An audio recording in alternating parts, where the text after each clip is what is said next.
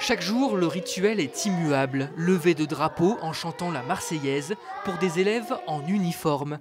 Des méthodes à l'ancienne, assumées par la présidente de la région, venue soutenir cette école privée hors contrat, qui a déjà bénéficié d'une subvention de 50 000 euros.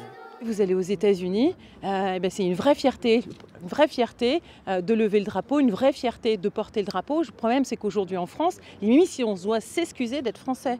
Les, mots sont forts, mais aujourd'hui, a un moment, il y a des valeurs, des, transmissions qu'on doit, doit faire à toutes les générations.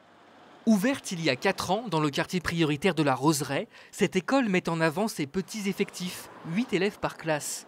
Coût pour les parents, 60 euros par mois. Le financement repose principalement sur des dons privés. Pour les enseignants, aucune formation spécifique n'est exigée, explique le fondateur de ce réseau d'écoles, un ancien collaborateur du parti de Philippe de Villiers. Ils ont tous un bac plus 5, donc euh, ils, pas, ils, ne sont pas sans formation. Voilà, ils ont tous eu des expériences assez importantes dans le domaine de la pédagogie, puisque c'est la, manière dont on les recrute, c'est sur le, on recrute d'abord des éducateurs. Donc voilà, et ça, il n'y a pas tellement de, diplômes qui, euh, qui vraiment sanctionnent ça. Le soutien affiché par la présidente de région à cette école privée hors contrat est dénoncé par son opposition, mais aussi par la principale fédération de parents d'élèves.